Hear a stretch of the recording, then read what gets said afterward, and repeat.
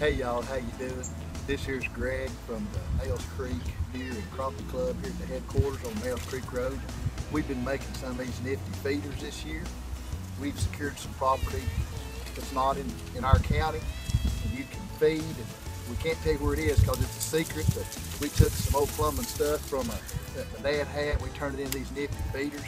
We think it's going to pay off big for us. One thing about these feeders, we got it off the YouTube guy said to camouflage it, but I couldn't figure out why because I thought you'd want the deer to see it. But we camouflaged like I said on the YouTube and I was going to put a sign on it that said feeder here, but my youngest partner said deer couldn't read but I think they can. And this is the initial show for the 2016 season and you'll be hearing more from us. And I just want to say thanks to everybody that made it possible. We got our sponsors, our Jack Leg and Betty and Cleve. And, and I'd also like to say thanks to my cameraman. She's operating the phone. She's my beautiful wife. And you'll hear more from us later. Happy hunting.